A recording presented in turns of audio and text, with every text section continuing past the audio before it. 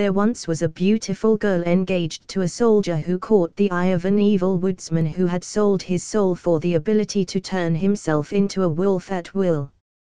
He lay in wait for the girl when she was walking home one day and accosted her, begging her to elope with him.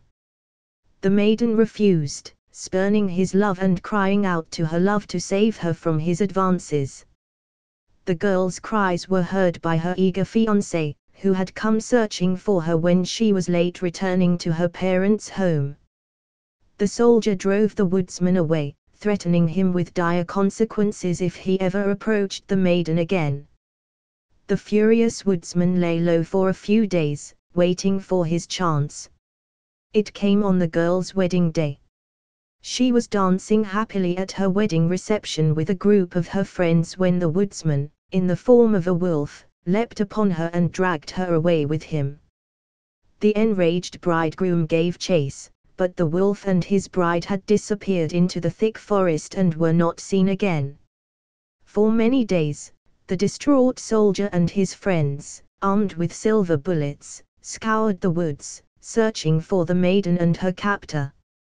Once the soldier thought he saw the wolf and shot at it. Upon reaching the location, he found a piece of a wolf's tail lying upon the ground. But of the wolf to which it belonged there was no sign.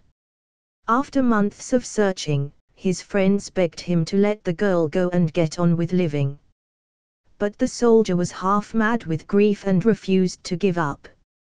And that very day, he found the cave where the werewolf lived.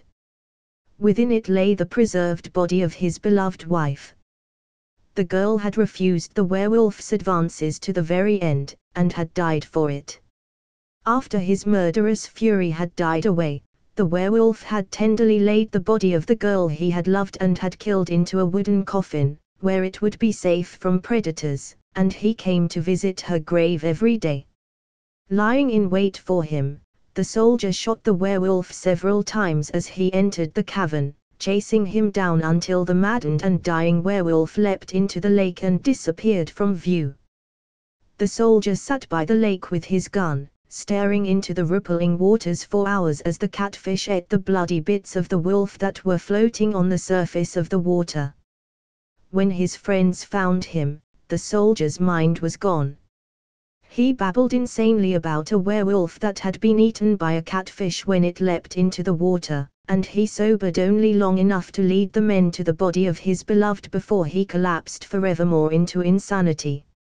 He died a few days later, and was buried beside his bride in a little glen where they had planned to build their house. Their grave is long forgotten, and the place where it stands is covered with daisies in the spring. But to this day, the people of the area have a prejudice against eating catfish, though no one remember why.